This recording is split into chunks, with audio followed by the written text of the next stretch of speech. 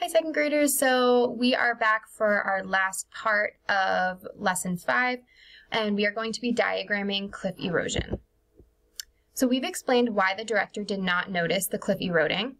Now we need to decide whether the recreation center should be closed immediately. So next we will create diagrams to include with our explanations. The diagrams will help the director decide whether to close the recreation center right away. So this worksheet is in your packet and you guys will be completing it on your own, but let's go ahead and read through the directions together. So direction one is look at the first picture in the diagram below and read its caption. So when I'm looking at the picture, it's showing a picture of the cliff and the caption says, now the flagpole is closer to the edge of the cliff than it was a long time ago. So that is what the cliff looks like today. Number two says complete the second picture in the diagram and complete the caption to explain how the cliff will look one year from now. Be sure to draw the cliff where you think it will be in one year and the water. So in this box right here, you're going to use what you guys have learned so far in this chapter about erosion to think about what that cliff might look like in one year. And then you will complete the sentence stems. In one year from now, the cliff will look blank. This is because blank. When you're completing the captions, make sure that you are thinking about all the different sources that we can use um, to pull information from, such as the Handbook of Land and Water, um, our mountain model, any of the things you've learned throughout the chapter to help you answer that question. Because just like in our scientific explanations, you guys want to be making sure that you're using evidence when you answer a question. And the last one, complete the third picture in the diagram and complete the caption to explain how the cliff will look 1 million years from now. Be sure to draw the cliff where you think it will be in 1 million years and the water. So in this bottom one, you're going to be drawing a picture again, but this time it's going to be focusing on 1 million years from now. So 1 million years is a really, really, really, really, really long time. So um, keep that in mind when you're drawing the picture of the cliff. And again, when you are completing the caption, make sure that you're using evidence from one of your sources to help you answer.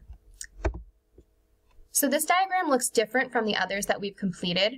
Instead of showing how the cliff got to be the way it is today, it shows what the cliff will look like in the future. So we're not totally sure what it's going to look like. We're making kind of a guess, but we're using information that we've learned so far to help us make a more educated guess.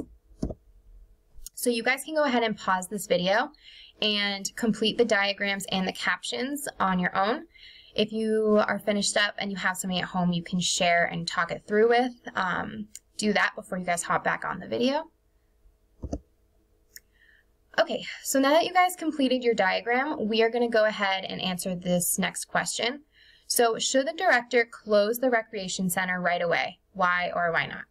When you're answering this question, I want you to keep in mind what we know about erosion. So again, remember that we've learned, and especially we focused on it in the last lesson, um, we've learned that small changes are hard to see or notice, um, but these small changes add up over time to a bigger change that will be more noticeable. So make sure that you're keeping that in mind when you're answering the question. You can go ahead and pause this video and write the answer in your packet or talk to somebody at home or just think about it in your head. We've been thinking about stability and change in ways that are similar to how many scientists think about stability and change. So we found evidence of small, slow changes to the cliff, even though it seems stable from day to day.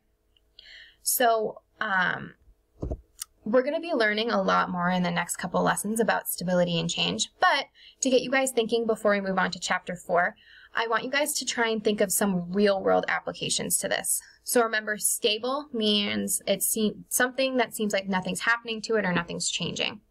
So what is something at home that seems stable from day to day?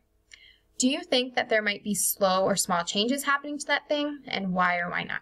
So go ahead and talk to somebody at home about your thoughts or just quickly think of an example in your head. It could be something like your backyard, um, the concrete, maybe a table in your house, um, really anything in your house that you can think of. Um, and think about are there changes being made to it. Okay, so that is the end of lesson five. So we will see you guys back for chapter four to finish up our Changing Landforms unit.